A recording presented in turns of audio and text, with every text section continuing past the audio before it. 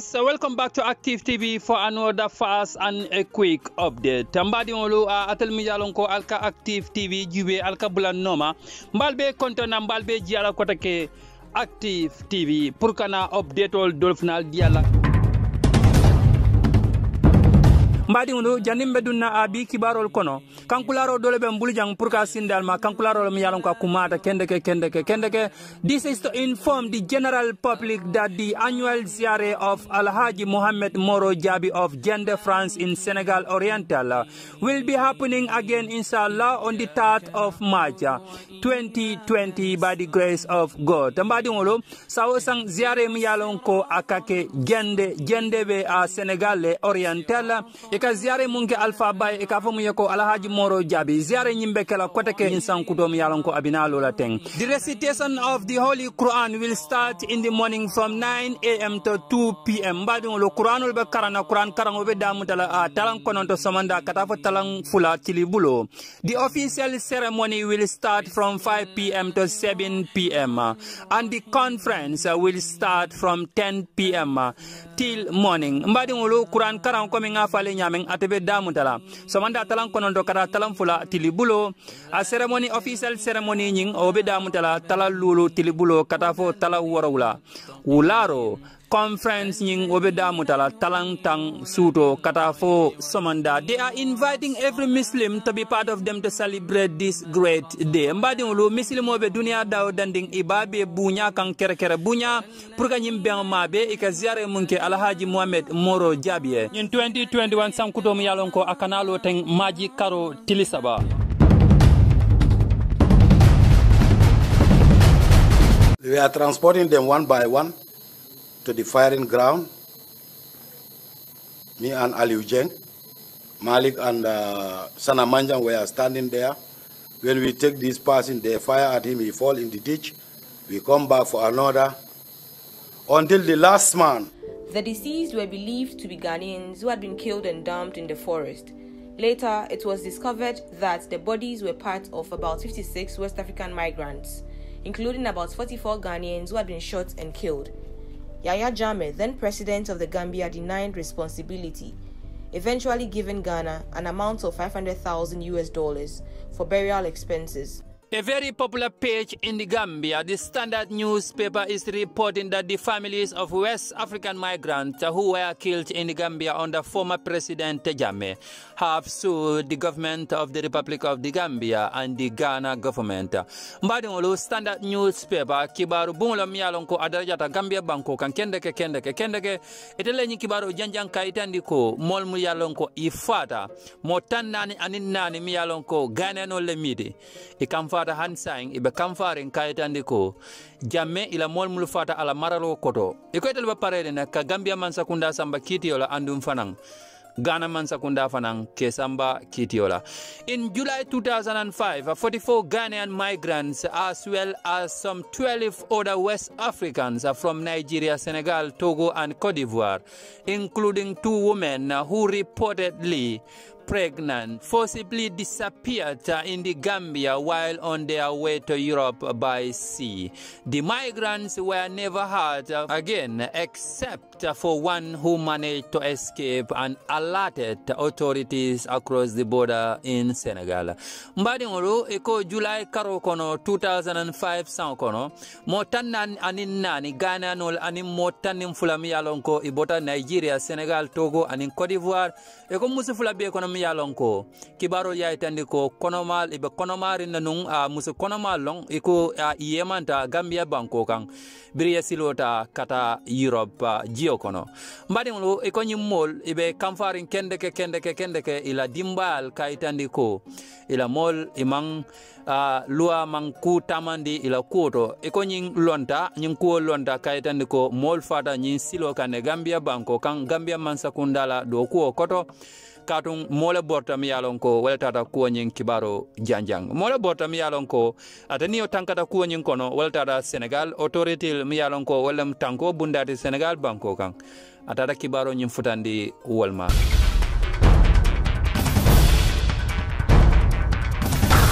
ñinam kibaro te standard newspaper mun janjang uh, wala kodo e ko mo tannani anin nani gananol mi yalon ko e fata anin mo tannin fula mi yalon ko e bota nigeria senegal togo anin cote d'ivoire ila family mol ila dimbal ibe kamfarin kendeke kendeke kendeke ibe parerin pour que gambia mansakunda samba kitiyola anun ghana mansakunda the standard newspaper is the uh, newspaper reporting this uh, that the families of the migrants who were killed in the gambia under the leadership of former president Jammeh sued the Gambia government and the Ghana government. Atam yalong kalbe video jibe kang al comment ali ala miro vadale muna mira kodo. Active TV update. Early 2005, I decided to go to Europe. You know, when we talk about Bono going to Europe, it's not something new. As a young boy, going through Libya, uh, Mauritania, Morocco, or something of that sort. So I also decided to go by the same way. So early 2005, I set off from Ghana and I found myself in Senegal. At by the end of January 2005, I was in Senegal, and we were very lucky to find a man whose name is called Taylor, who's claimed to be American, and he's a captain, and that's what they call him. They call him captain. So he came to our place, Medina, and said he wants to send people to Europe if we are interested. And say sure, that's why we are here. So uh, he started getting people, and you know, some time came that he want money so that he can buy fuel and food and all those things. But people refused to give the money to him in Senegal, so he decided to go back to Gambia that he can get money from Gambia. And fortunate for him, he get a man called Lamini in Gambia, and Lamini decided to give him money. So he returned the vessel from Dakar to Banjul so that he can give him money and buy fuel and other food stuff. So in the July, the captain said he had finished everything, so we must to camp ourselves and join the vessel at the sea so we are 56 in number. We have Kenyans, we have Congolese, Togolese. So at the middle of July, uh, the leaders went to Saly Mbour and find a canoe, and we joined the canoe and we left. Whilst we are going, there was a communication between captain and the, the, the canoe. So we get a point where we found difficult to reach the captain, and it was a midnight, and we found there is a light and the phone there. So some of us say, oh, this is Gambia, so let's go to Gambia so that we can communicate to the captain. So early in the morning, we found ourselves in Gambia, uh, Banjul port. So some of our guys decided to go to town and call the captain. So they set off from the canoe and we had navies chasing them, navies chasing them, and gunshot follows. So the canoe guys returned the canoe to other side. There was a beach called Barra Beach. So they decided to put us there and return the canoe back. So we rested at Barra Beach for some time and we sent other guys to Barra Town. So further information or if they can get to the captain so that we, we can find a good and a better place to stay. So the captain give them information that uh, the guys who left in the morning, haven't heard anything from them. So supposedly the police must be arrested. So he will send the agent, Lamini, to go around from police station to police station if he can grant them a bail. So the rest, there is a canoe around, so we must to find a canoe and hide ourselves at a certain village around. The process of finding canoe, they get to a wrong a guy whose brother was a policeman. So he informed the brother that there was a foreigner around the beach who owned the canoe. So the policeman arrested the three guys and sent them to the Barra police station. Around 5 p.m. in the evening, we found there is a canoe heading towards where we are. So we think that, oh, this is the canoe we sent for. And they came with one of our guys, Victor. So nobody wasted much time. We just joined the canoe and later found out in the canoe that he was arrested. So they sent us to Barra, Barra town where there was a waiting policeman with gun. And they marched straight to Barra police station. It was evening. The CID man came in. When you uh, put your passport down, you write your name. In the night, I think 8.30, two seven bars came in and they left with 30 of our guys. We left 50. And in the 9 p.m. to 10, the bus came again and we joined the bus to the Barra station where the ferry crossed to the Gambanju. There was a waiting vessel and we joined the vessel where beating started inside the vessel. They started beating us. It was soldiers at that time. And we crossed to the Barra, uh, Banjul uh, port where a man was waiting, a soldier with long cutlass, a hat with horn, top here with big talisman, and he's just holding the cutlass. Immediately you come down from the vessel, he used the cutlass on you, he just put it on your chest here, he tear, and your, all your chest is down. The, the first 30 has been beaten up, they have been tied by rope, and there is blood everywhere. Some of them lost their teeth and other things. So they have been tied, and about four, or three minutes time, a soldier bus came in, and they said, join the bus, join the bus. So we joined the bus, and we left from Banjul port, and we get to first police station, which is Bundung police station. And at that time, they said, time should get down, time should get down. So I, I stopped at the Bundung police station there, and they left with 40 guys. So next day morning, CID and other guys came in with our statements and fingerprints, and they take our passport pictures. So we spent one week at the Bundung police station there. And not forgetting that they brought Lamini also into our cells there. The day they brought, the first day we was arrested at uh, 3 a.m. at that time, they brought in Lamini and they came for two of our guys. So now we left nine in the Bundung police station there. So um, on Tuesday, there was a newspaper report, 50 foreigners has been arrested, eight dead bodies has been found at Brufut Forest.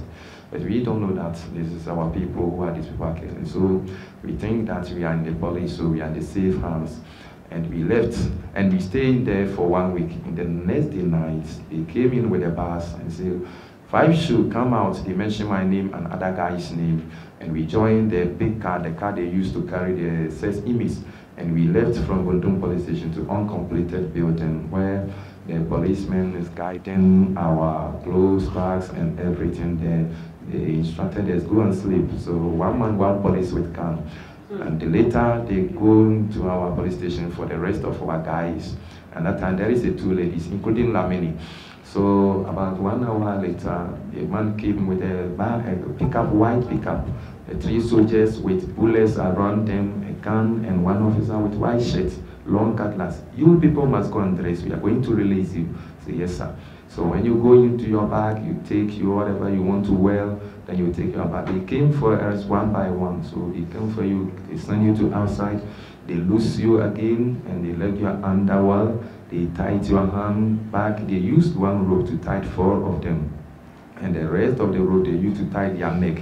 So when you are in the pickup, you make like this, you just were looking up, up. You can't even bring your head down and we are, I think they tied eight of us in one pickup, and the pickup is full. They decide to bring in two ladies, but they say the bag is too big, so they are going to release this after they will come for the rest.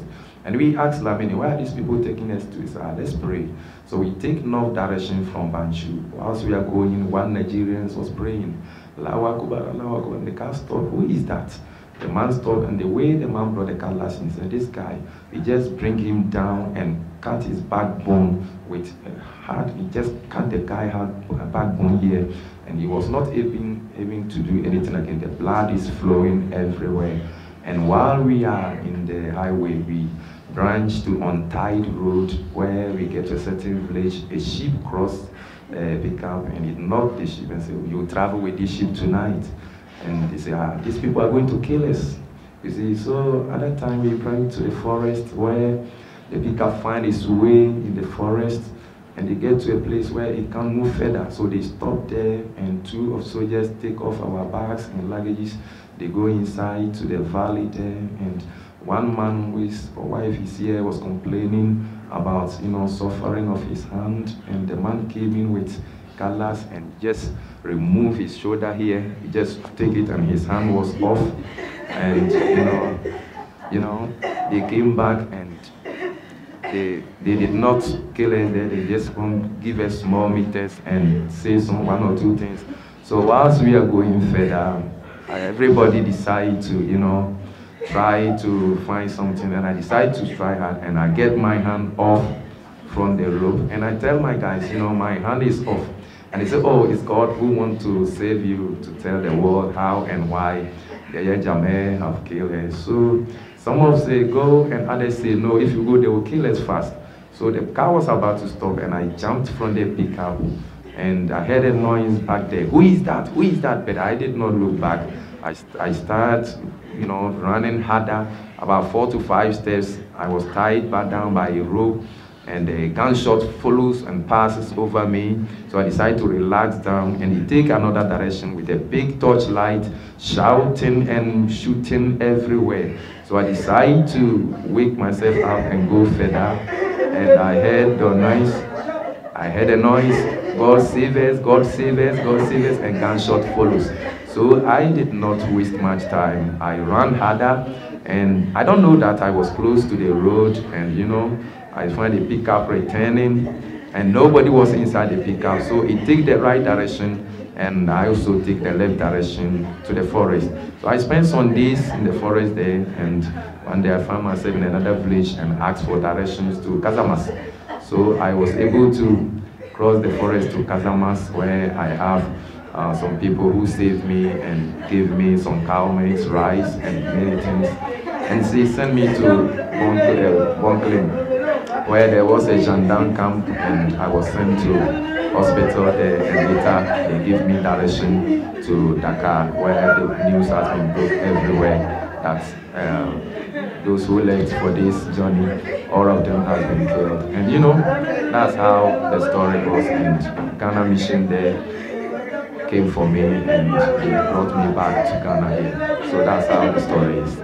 A jungle operation. Did you did you participate in an operation in 2005? 2000, uh, 2005. Yes, July Yes, I- 2005. I did. Can you tell us about it? That was the these Ghanaians who they said were mercenaries. When we arrived at the ground, Yes. Solo said these people are mercenaries. The order from the head of state, the former president Yahya Jammeh, is to they are all to be, they are all to be executed. And we start escorting them. Did anybody oppose the idea? No, and there was no. At the time, Solo was the senior man on the ground. You all accepted the order. Yes, Tell us how the killings occurred. we, we, we were transporting them one by one to the firing ground. Me and Aliu Jeng, Malik and uh, Sana Manjang were standing there. When we take this person, they fire at him, he fall in the ditch. We come back for another. Until the last man, I took him up to the up to the ditch. When I when we were going up to the because since we picked them from here, I was investigating him, asking him whether they were what they were alleged for that they were mercenaries. But he said they were not mercenaries. They were they were going. They were people going to Europe. They were going. To, they were trying. To, You were backway boys. Yes, they are back backway boys. So on that we were discussing until we reached at that point. So when I took this man up to the ditch, before we re- reached the ditch, he was having a note, 100 euro note. He gave it to me. He told me that it's, it's not necessary for me to die with this. You are living, you may use it. You have been nice to me since we take off from Banjul. When we arrived, he asked me to give him. Cha- Sana Manjang told me, finish, finish him. He asked me for, for me to allow him to say his prayers. I said, go ahead. He kneeled down to say his prayers. Then Sanamanja has already released the shot and fired him.